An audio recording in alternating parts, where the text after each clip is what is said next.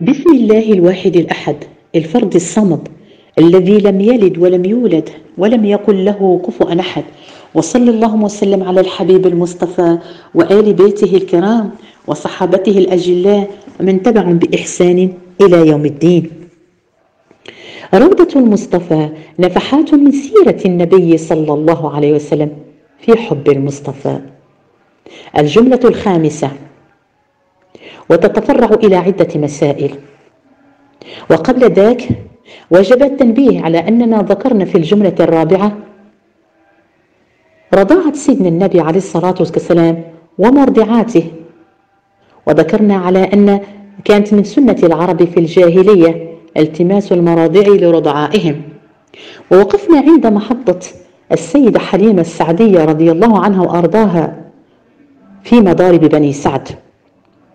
فلما أكمل سيدنا النبي عليه الصلاة والسلام حولين كاملين أرجعته إلى أمه آمنة بمكة المكرمة إلى أن هذا الفراق شق على السيدة حليمة السعدية رضي الله عنها وأرضاها. فاستعطفت أمه على أن تتركه يعود معها مرة ثانية إلى مضارب بني سعد.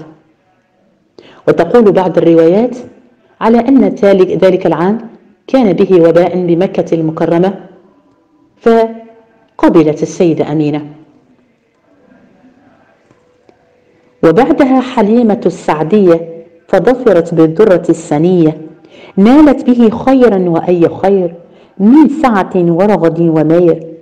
وقام في سعد بني بكر عندها أربعة الأعوام تجني سعدها.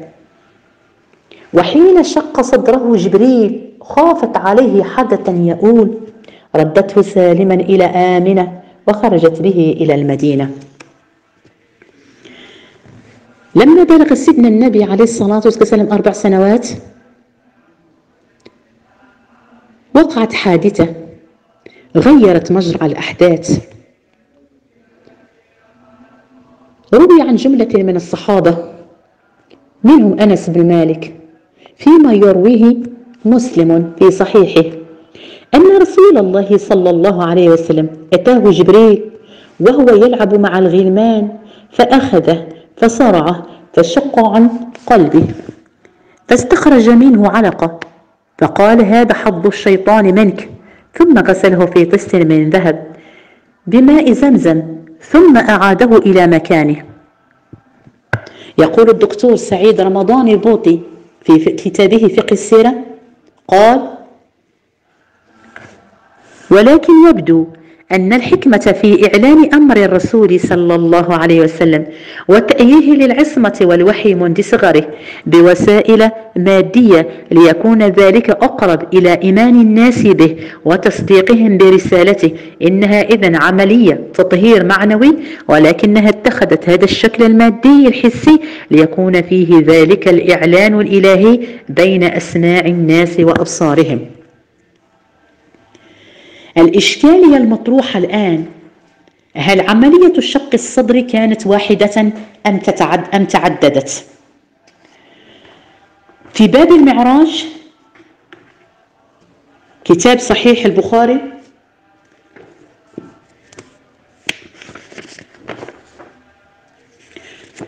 روى أنس بن مالك رضي الله عنه وأرضاه عن مالك بن صعصعة رضي الله عنه وأرضاه أن نبي الله صلى الله عليه وسلم حدثهم عن ليلة أسري به بينما أنا في الحطيم وربما قال في الحجر مضطجعا إذ أتاني آت فقد. قال وسمعه يقول فشق ما بين هذه إلى هذه. فاستخرج قلبي. ثم أتيت بطست من ذهب مملوءة إيمانا فغسل قلبي ثم حشي ثم أعيد. يقول ابن حجر في فتح الباري وقد استنكر بعضهم وقوع شق الصدر ليلة الإسراء وقال إنما كان ذلك وهو صغير في بني سعد ولا إنكار في ذلك فقد تواردت الروايات به وثبت شق الصدر أيضا عند البعثة كما أخرج أبو نعيم في الدلائل. ولكن ولكل منهما حكمة. فالأول وقع فيه من الزيادة كما عند مسلم من حديث أنس الذي ذكرناه سالفا فأخرج علقة فقال هذا حظ الشيطان منك. وكان هذا في زمن الطفولية فنشأ على أكمل الأحوال من العصمة من الشيطان.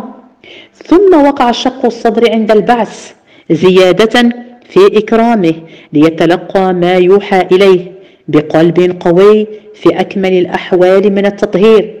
ثم وقع شق الصدر عند إرادة العروج إلى السماء ليتأهب للمناجاة ويحتمل أن تكون الحكمة في هذا الغسل لتقع المبالغة في الإسباغ بحصول المرس الثالثة كما تقرر في شرعه صلى الله عليه وسلم.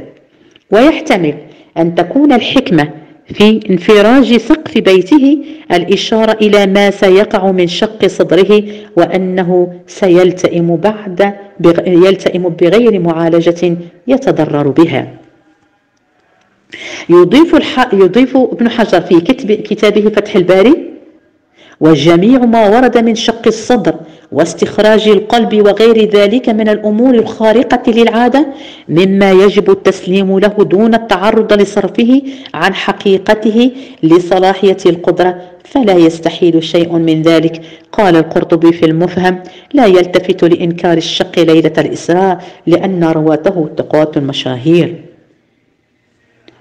فعملية شق الصدر كما يذكر أهل السير على أنها تعدت الثلاث فلما كان سيدنا النبي عليه الصلاة والسلام طفلا في مضارب بني سعد ثم بعدها يوم البعثة ثم ليلة الإسراء.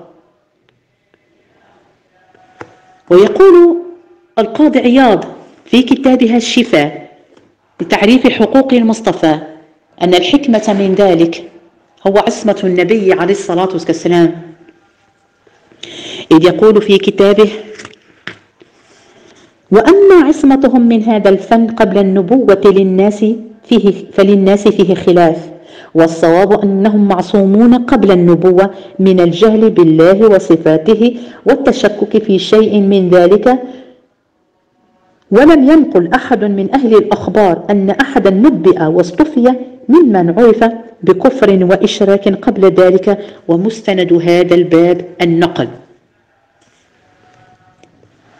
قال, قال القاضي عياض في قوله تعالى وإذ أخذنا من النبيين ميثاقهم ومنك. سورة الأحزاب. وفي سورة آل عمران وإذ أخذ الله ميثاق النبيين. إلى قوله تعالى لا تؤمنون به ولا تنصرنه.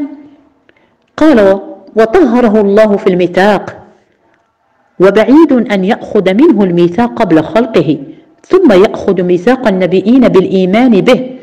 ونصره قبل مولده بدهور ويجوز عليه الشرك أو غيره من الذنوب. هذا ما لا يجوزه إلا ملحد. هذا معنى كلامه.